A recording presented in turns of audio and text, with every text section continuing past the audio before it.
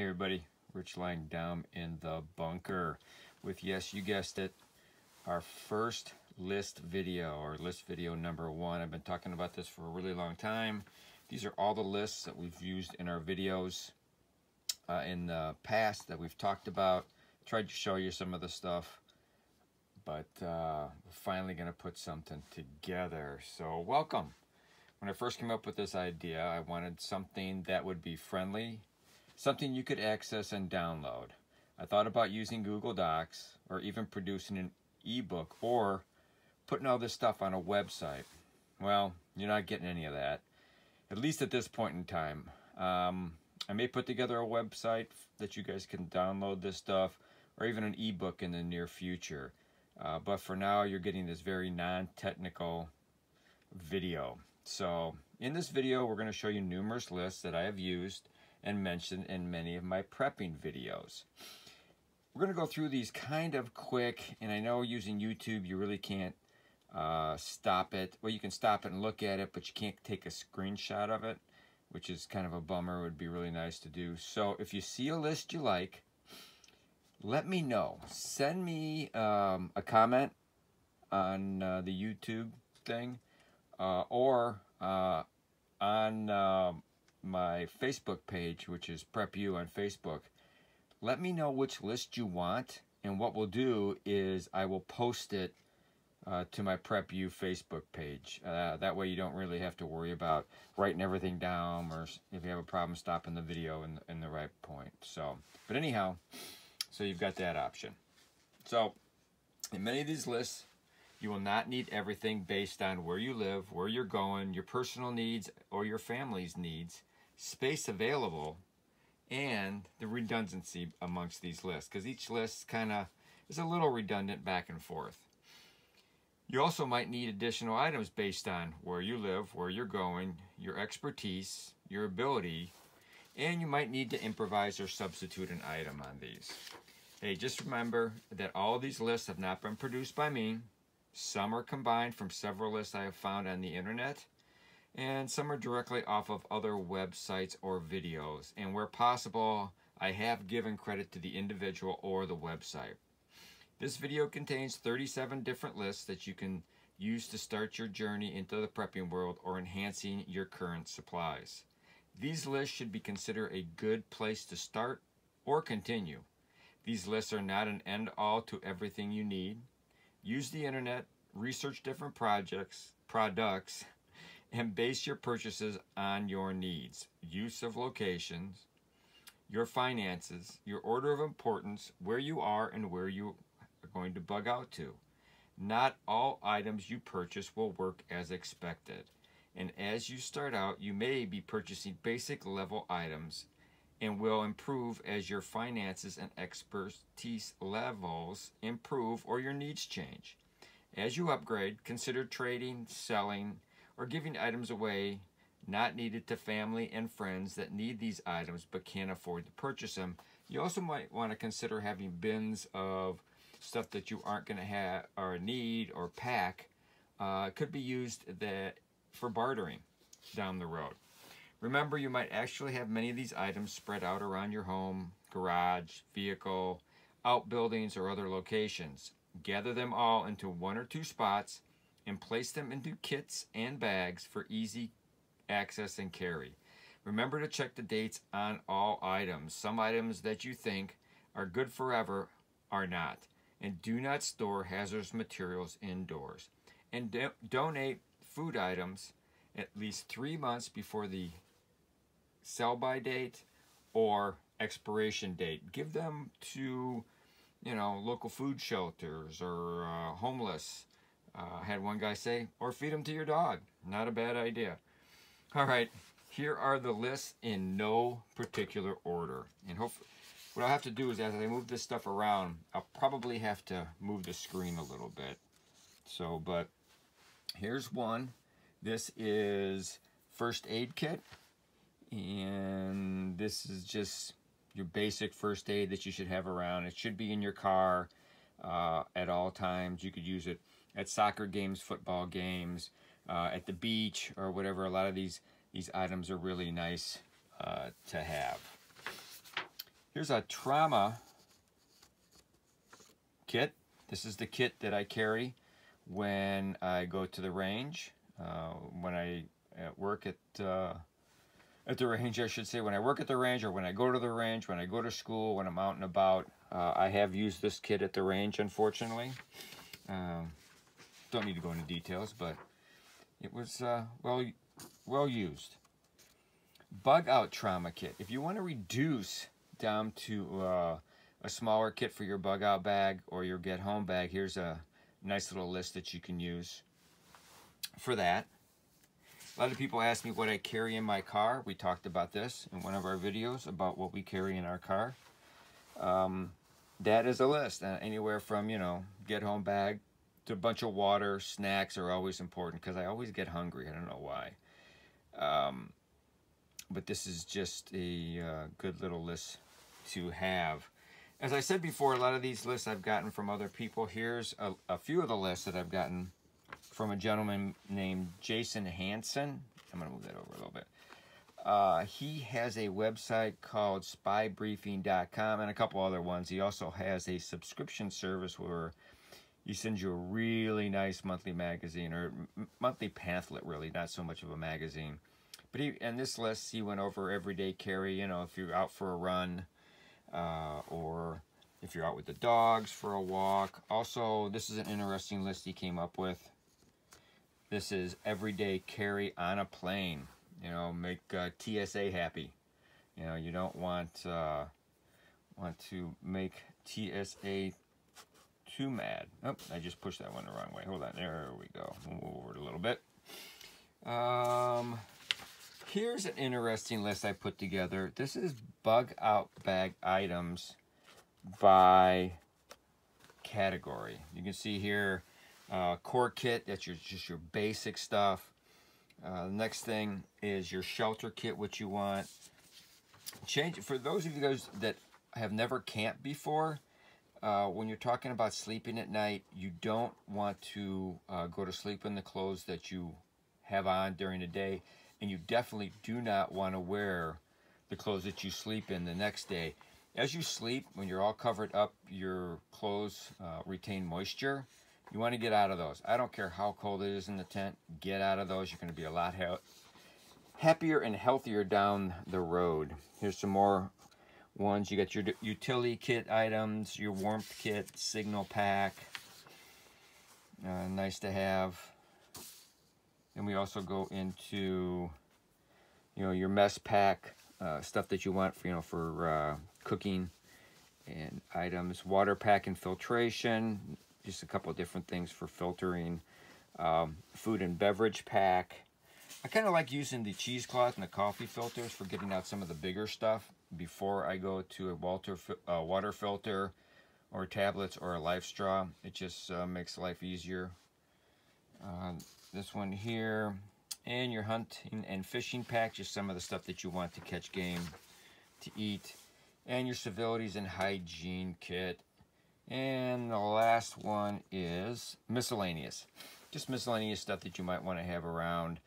Uh, I love the steel wool and the 9 volt batteries. I probably could have put that in um, the fire starting section or the food, but it's just a, just a little different. This next one is my everyday carry. This is what is in my everyday carry uh, wherever I go. Uh, I've got, uh, actually it's split into two uh, just because some of the stuff I cannot take in the school, obviously, when I'm teaching. Uh, they kind of put a, they don't like that. Let's just put it that way. The next one is comes from Ask a Prepper. Uh, the author is Rich M. Not sure what Rich's last name is. It just said Rich M. Uh, this is uh, 50 plus high value items to stockpile. I did a little tweaking to it, but I did want to give uh, Rich and AskAPrepper.com uh, credit for this list because it kind of like got my brain going for some of the things uh, on here. A lot of items that you see on this list when it's stockpiling, you can take it with you. I mean, depending on your, your vehicle, but you want to make sure that they're ready and good to go. Uh, the biggest thing is I like right there in the middle where it says alcohol, tobacco.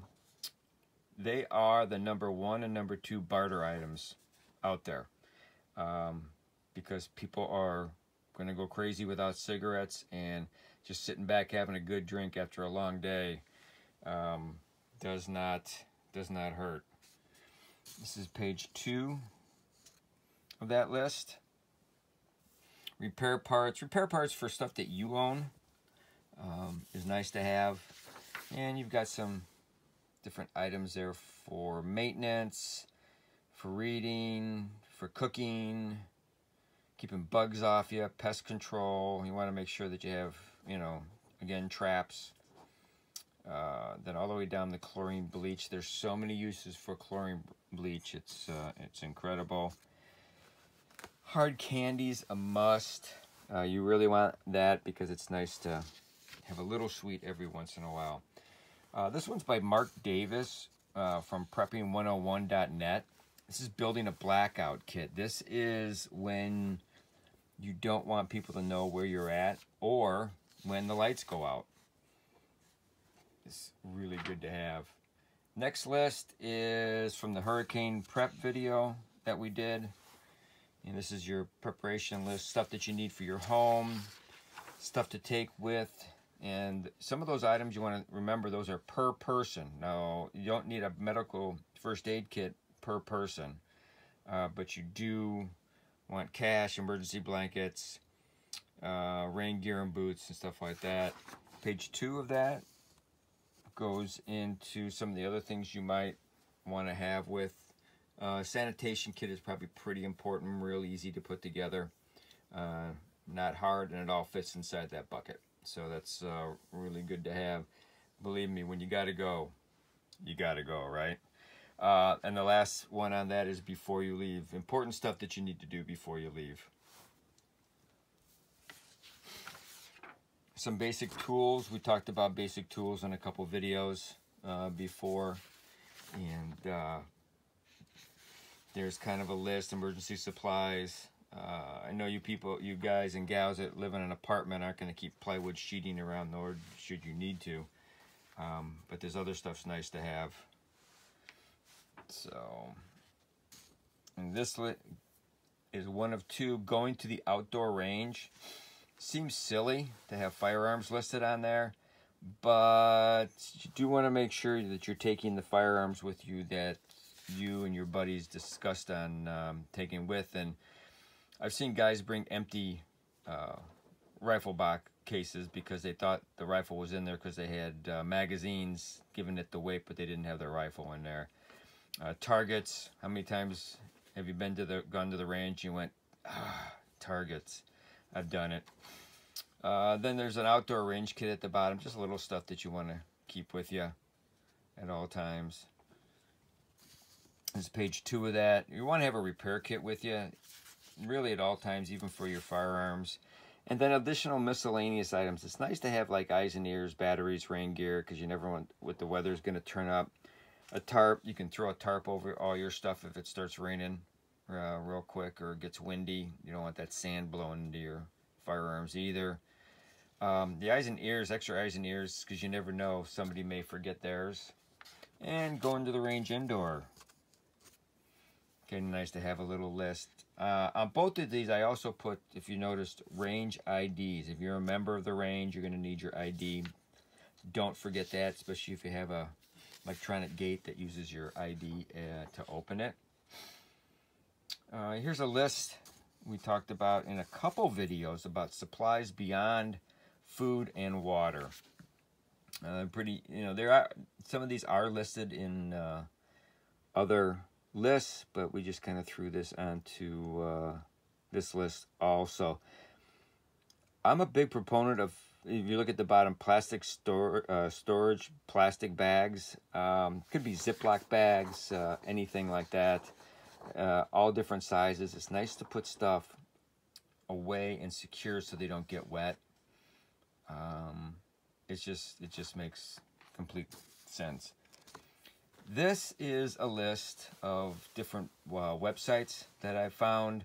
Uh, the tops are mostly, you know, different informational websites. At the bottom, it's all food websites. Right smack dab in the middle there is Philmont Scout Ranch.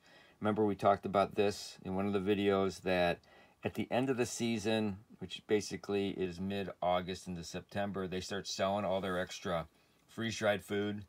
Uh, and everything is delicious, delicious except for the teriyaki chicken. Uh, I know my son liked it. I think he had mine, so that worked out for him. Um, but there's a lot of places on here. You've seen some of these others.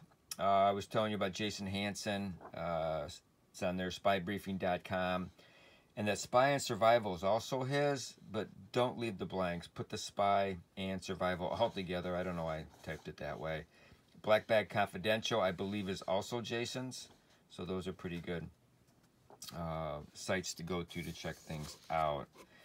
Your basic fishing survival kit, we talked about that in the fishing video. Um, really, you saw how easy it is to put all that stuff into a very small kit that you can throw into your bug out bag. Um, this is uh, a list that uh, couple of us put together. We were just talking about what would you need just for short term. This is a short-term sustainability pack, just something to have uh, if you gotta leave for a short duration. Um, but there are supplies otherwhere, other places. Um, this is just something to have with you. Just another list, just throwing it out there. Um, this next one is actually my get home bag. Heavy. Uh, this is uh, I keep it in basically in, in two because you couldn't put this all in one. The reason I say it's heavy is because I actually have a ballistic plate in one of my backpacks. It's nice to throw in the back uh, to have, you know, uh, just for safety, survival. Firearms, two to three magazines, the ballistic plate, flashlights, extra batteries. Now you can see why we're talking heavy as in weight, but it's also heavy because there's a lot of stuff in here. Uh, this is a lot heavier uh, than just my uh, normal everyday get home bag. And like I said, I have these in two different bags. It's, you know, it depends on where I'm going and what I'm doing. Uh, everyday carry light. This is stuff that you should have with you every day. There's no reason to go anywhere without this stuff. Uh, it's easy. This along with the five things that everybody needs. We talked about that in a video. Uh, and that's easily put inside of a sandwich bag. Not this one, but the, the five things you should always carry.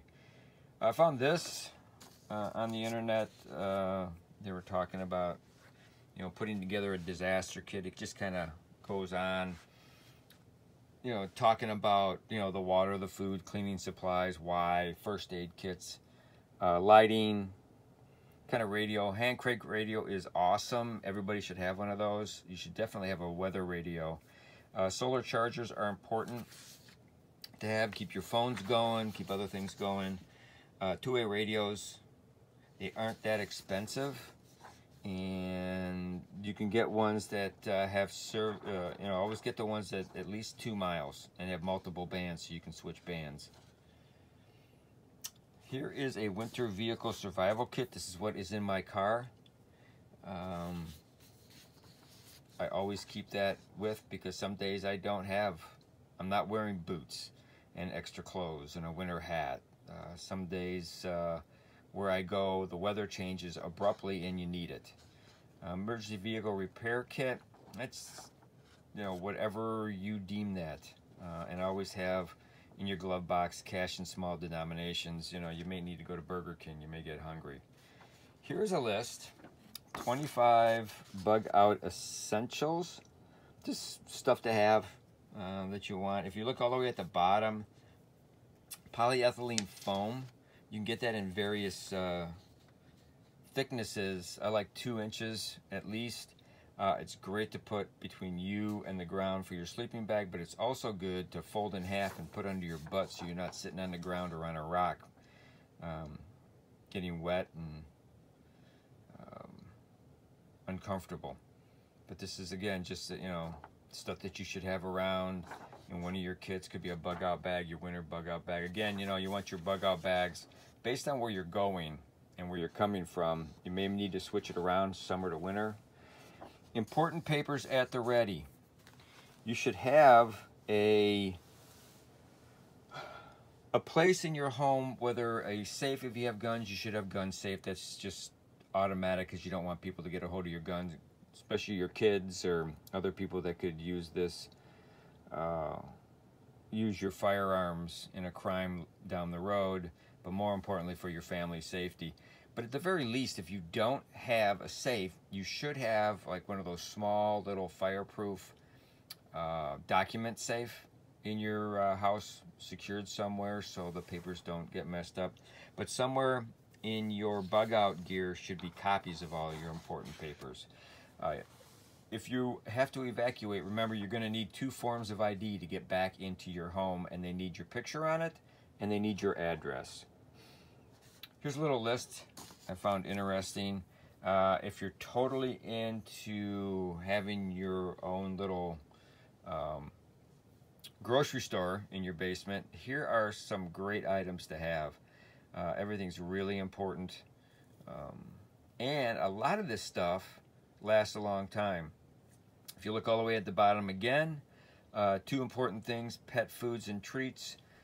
We have a video, I'm sure you saw, it's how to bug out, how to prepare for your pets. What you need, what you should have uh, in their little uh, bug out bag.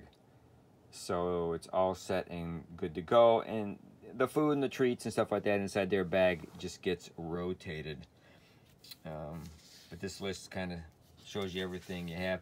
And we also talked about, um, you know, stockpiling on a budget when, you know, you should have stuff that you're using, stuff as a backup, and your third could be your stockpile. So let's take just, take nuts or pickles or dried fruit. Well, if there's dried fruit and nuts that you're eating, that's the open one, then you have a backup to that, which is probably in your pantry.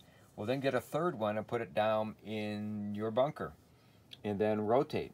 And as you buy, uh, if you as you finish one, just rotate from your pantry into actual use and come down from the stockpile, bring that up, and then buy one new one for the stockpile. Um, these are things I always, absolutely, always, always carry with me at all times. The only thing I don't have on there is uh, the five things you should carry. And I don't even know if I have that in a list here. That'll probably be the next video. But uh, this is stuff you should always have. If you notice, there's no uh, firearm on there. Uh, but there, uh, well, actually there is. Knife and or uh, CCW and extra magazine. Some places I go I can't carry. We all know that. So um, a knife would be important. Here's a list on items of things no one thinks about, especially for the kids. The kids are going to get antsy. You're going to get antsy. You actually want to have something for them to do. Uh, crayons, coloring books, toys. Uh, don't forget about diapers, wipes, lotions, etc. And guys, if your wife's not so into this whole prepping deal, but you know you need to, need to think about feminine products. Uh, at the very least, it's going to save you from having to run out to the grocery store at uh, 10 o'clock at night because they're out of something. Uh, you'll have it down in uh, your stockpile. Next list is what's in my bug out bag. Uh, this is uh, page one. and I just I don't have the firearm listed because I know I'm going to have them with me, but I have ammo for everything I'm going to take with me. The the only extra ammo I don't have on there, which I'm surprised, is uh, uh, green tip 556. Uh, I'm not taking anything else if I'm out on the road and uh, it's a survival situation. I'm not messing around with uh, anything but green tip. Uh, this is the second page of that. And you can see all kinds of good stuff on there. 72 hours worth of food. This is per person. Don't forget that a lot of the stuff on here is, this is my bug out bag. This does not include my wife's uh, or my daughter's, which is uh, kind of small because she's not living here anymore. She's at college, basically on her own. But anyhow, um, a few things. Everybody should have their own bug out bag. Even the kids put in stuff of theirs in a backpack, weight appropriate. And the last page of the bug out bag is just some miscellaneous stuff, and your medications, your personal stuff, and over the counter. Good to have. Rotate it. And speaking of rotating it, you need to have a list of used by item locations. Your medicine cabinet, medical cabinet, your your carry bags, bug out bags, um, your if you've got miscellaneous camping bins, disaster supply bin, your range bag. Um, if you have two range bags, you have an outdoor and an indoor, check those too. And then your vehicles uh, bag also will have items in it that uh, may need to be switched out from time to time. Here's a three-day food list. And this is per person. This is what should be stockpiled. You know, and uh, if you don't like tuna, have more ham. If you don't like ham, put more tuna. And I don't have it on there, but don't forget Spam. Spam is good stuff. Actually, it uh, Spam won the won World War II for us. That and dry socks. Uh, people have asked me about what do you have by your bedside. That's what I have by my bedside, the top one, not the bottom one.